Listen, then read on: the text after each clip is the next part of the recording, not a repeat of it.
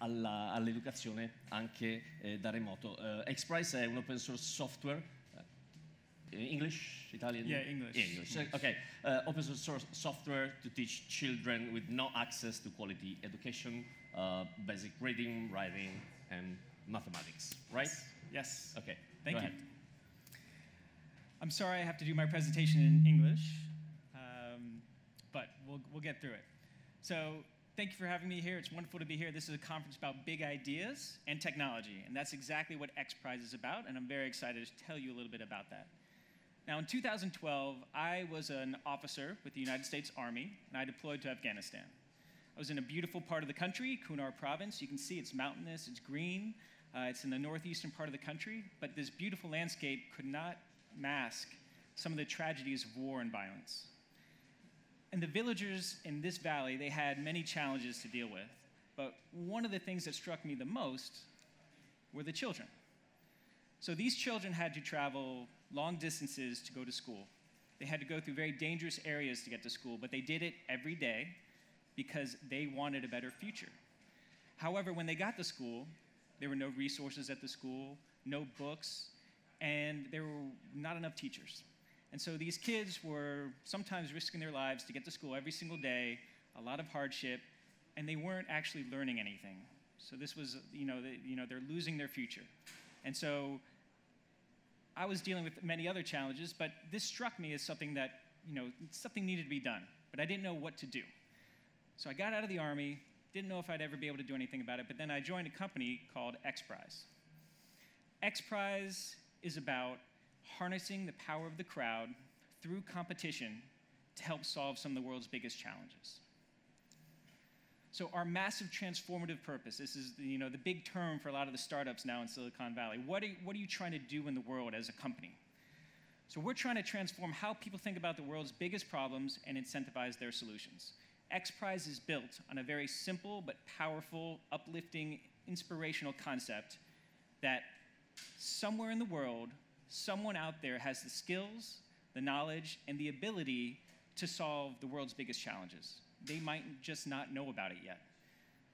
So, what a competition does is that we set up, we look at grand challenges around the world, and we try to figure out how can we turn part of that grand challenge into a competition and then get people to actually compete for it. So we put up a big, big prize purse that gets people's attention. We do a lot of media outreach. And then we set out these uh, designs, and then people will come to us, and then they will try to compete, and they are the ones that are, uh, finding the, the new breakthrough technologies. So prizes are not new. Prizes are, go back hundreds of years, and there's some great prizes. So the story goes that our founder, Peter Diamandis, he was reading a book about called The Spirit of St. Louis. Spirit of St. Louis was the plane that Charles Lindbergh used to fly across the Atlantic. Now, many people don't realize that Lindbergh did that as part of a competition. So he flew from New York to Paris, became arguably the most famous person in the world, and spurred a multi billion dollar commercial flight industry, which is what we have today. And so our founder was reading this, Peter, and he said, Well, I want to be an astronaut, I want to go to space, but we don't have any commercial space flight industry. So why don't I try to do a prize? So the very first X Prize came about. It's the Ansari X Prize, and it was won by what's today Virgin Galactic. And you can see the winning, uh, winning ship, Spaceship One, is actually hanging next to the Spirit of St. Louis in the uh, Air and Space Museum in Washington, D.C. And so today, if you look around, the commercial space industry is a multi billion dollar industry. SpaceX, Blue Origin, Virgin Galactic, they're all competing about uh, having private companies do things in space. So it's a way to spur new innovation into an, an industry that wasn't there before. So X Prize was very successful with the first X Prize, and so they said, wow, let's try to do this for some other areas. So now we have other active competitions that are going on. So we have the Google Lunar X Prize. This is to build a rover and send it to the moon, completely funded by private money.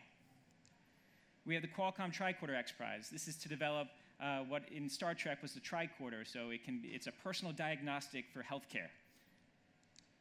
We have the Global Learning X Prize, which I'll tell you more about.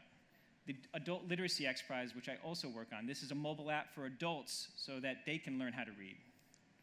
We have the Shell Ocean Discovery X Prize, one of our new X Prizes about autonomous underwater vehicles that can map the bottom of the ocean to a degree and scale that has been unprecedented because the ocean is a big place and there's a lot that we don't know about it.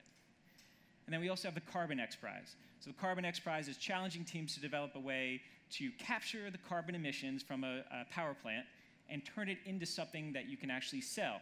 So to create a market there.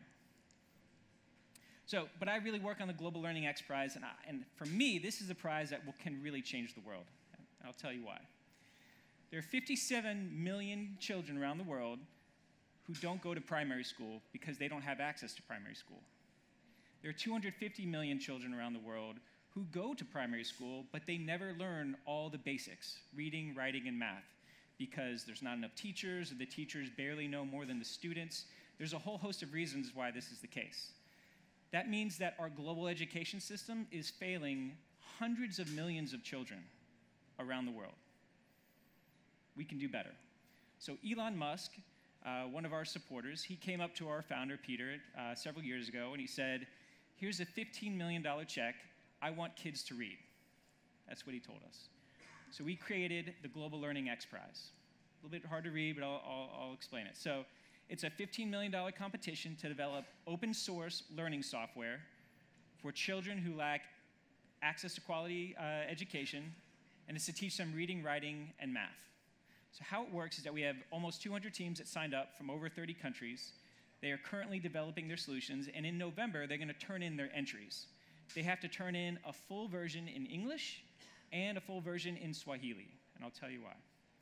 But first, so we're going to get down to five finalists, and each of the five finalists will, receive a million dollars.